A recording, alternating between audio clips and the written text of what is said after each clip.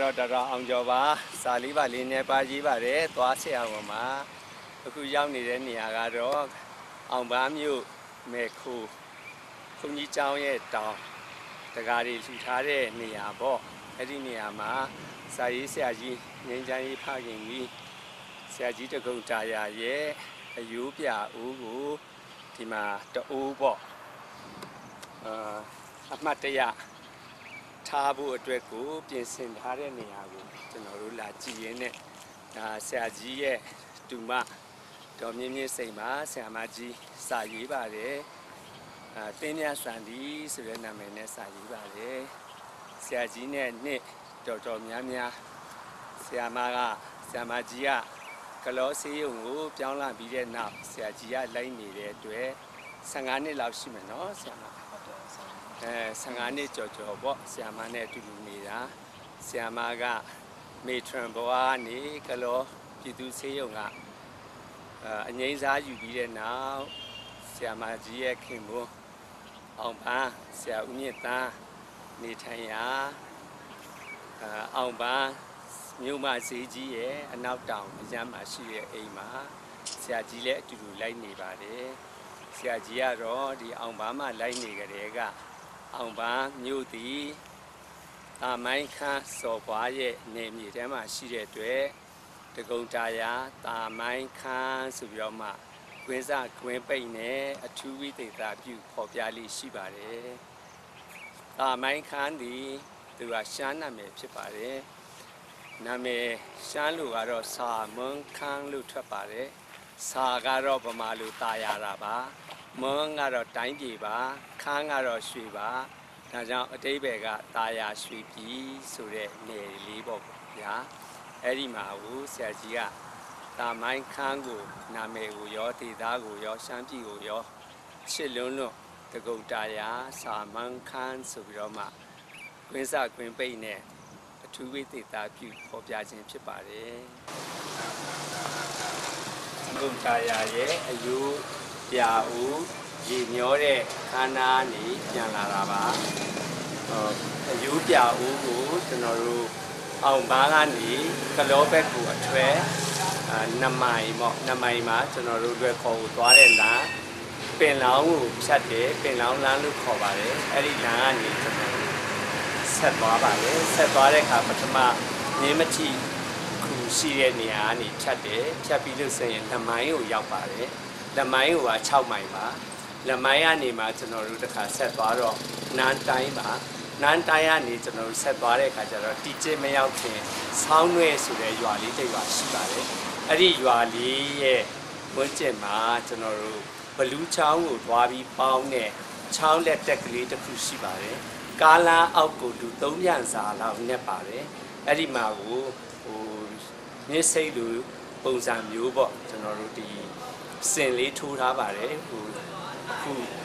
ရိုးဦးမျောဖို့အတွက်အဆင်ပြေဖို့စင်လေးထိုးထားပါတယ်အပေါ်မှာလည်းပဲကျွန်တော်တို့မန်တက်လေးထိုးထားပါတယ်အဲဒီတော့ဘာသာအောင်းစုံဆိုပြီးတော့မှဆရာကြီးရဲ့ဂုံကျေးဇူးကိုချီးမြှင့်တဲ့အနေနဲ့အားလုံးကဆုတောင်းဝတ်ပြုခြင်းနဲ့အများဝေခြင်းများပြုလုပ်ကြပါတယ်ပြုလုပ်ပြီးတဲ့နောက်ကျွန်တော်တို့ဒီအယိုးအိုးပြကိုနင်းစီပန်းနေခြံရံနဲ့ဘားနဲ့ထဲ အယိုးအိုးကလည်းကျွန်တော်တို့ပိတ်နီနဲ့ဟိုချီနှောင်ထားပါတယ်အဲ့ဒါကိုမြစ်စိတ်လို့ပေါ့နော်ချောင်းစိတ်ပေါ့အဲ့ဒီစင်လေးထိုးထားတဲ့နေရာကိုကျွန်တော်တို့ဆင်းကြပါတယ်ဆင်းကြတဲ့အခါဆရာကြီးရဲ့တူမကမွေးတဲ့ဆိုတဲ့ညီးတွေပေါ့နော်အိမ်မာနေဝင်းတို့တန်တာနေဝင်းတို့အပါအဝင်နောက်ဆရာမအဲဆရာကြီးရဲ့တူမတော်တော်လေးရင်းတဲ့ writer စံညွှန်းရေးဆရာ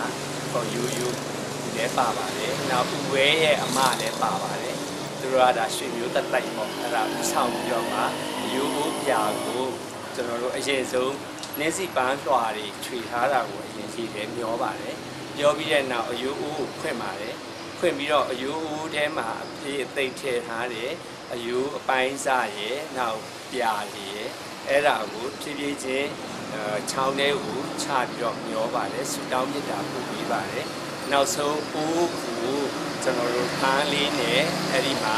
ရင်းစီကနေခြံရပြီးတော့မှဒီအိုးကိုလည်းပဲချောင်းလေးအတိုင်းညောလိုက်ပါတယ်ချောင်းကလည်းခုမိုးတွင်းဖြစ်တဲ့အတွက်ကြောင့်လို့ ရေကတော့နည်းနည်းနောက်နေပြီပဲရေစီးတော်တော်တန်ပါတယ်ဒီချောင်းလေးက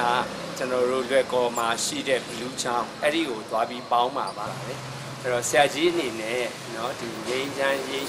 ကိစ္စကိုတစ်သက်လုံးဆောင်ရွက်ခဲ့တာမှာဒီတိုင်းပြည်လုံး ကျွန်တော်တို့လူမျိုးမရွေးဘာသာမရွေးတကဘာလုံးအတွက်ကိုတစ်သက်လုံးတစ်စိုက်မှမှလုပ်ခဲ့တာမှာအခုနောက်ဆုံးအယိုးဦးပြာကိုအယိုးပြာဦးကိုရေမျောဖို့အတွက်နေရာရွေးချယ်ရတဲ့အခါကျတော့ချောင်းလေးကလည်းရေစီးတန်ပါစီပြီးတော့မှအဲငိမ့်ငိမ့်ချမ်းချမ်းနဲ့နယ်မြေတွေအများကြီးမြို့ရွာတွေအများကြီးဖြတ်သွားတဲ့တစ်လျှောက်ငိမ့်ချမ်းပါစီဆိုတဲ့အဲစိတ်ဆန္ဒရည်ရွယ်ချက်နဲ့ကျွန်တော်တို့အောင်ပါကနေ မိုင်20နီးပါးလောက်ရှိပါတယ်အဲ့ဒီခရီးကိုတကူးတကသွားပြီးတော့မှဒီမျိုးပြကိုညောအချင်းဖြစ်ပါတယ်ဒါကြောင့်ရှမ်းပြည်တောင်ပိုင်းမှာရှိရဲအင်းလေးရှမ်းတနူးပအိုးပလောင်စတဲ့တိုင်းရင်းသားမျိုးစုံတွေအပြင်နော်ကရားမှာရှိတဲ့ကေဘာလူမျိုးနော်နောက်တစ်ခါပထောင်လူမျိုးနောက်ကျွန်တော်တို့ကယန်းလူမျိုးစသည်ဖြင့်လူမျိုးတော်တော်များများ တွေစီကိုငြိမ်းချမ်းရေးလွတ်လပ်ရေးတရားမျှတရေးညီညွတ်ရေးဆိုတဲ့ဆရာကြီးရဲ့ခံယူချက်နဲ့ဩဝါဒတွေပြန့်နှံ့ပါစေဆိုတဲ့ရည်ရွယ်ချက်နဲ့ကျွန်တော်တို့ဒီအယိုးပြဦးကိုဒီဆောင်းရွက်ချောင်းလက်တက်ကနေတစ်ဆင့်ကျွန်တော်တို့ဘလူးချောင်းတဲ့ကိုပါဝင်စီးဆင်းပြီးတော့မှအားလုံးငြိမ်းချမ်းပါစေဆိုတဲ့ဟိုဆုတောင်းမေတ္တာနဲ့ကျွန်တော်တို့မျောပြီးတော့ ဆရာကြီးရဲ့နောက်ဆုံးဘဝတက်တက်တာရဲ့စက်သိန်းကန်းကိုဒီလိတ်ကားကြချလိုက်ခြင်းဖြစ်ပါတယ်ခင်ဗျာ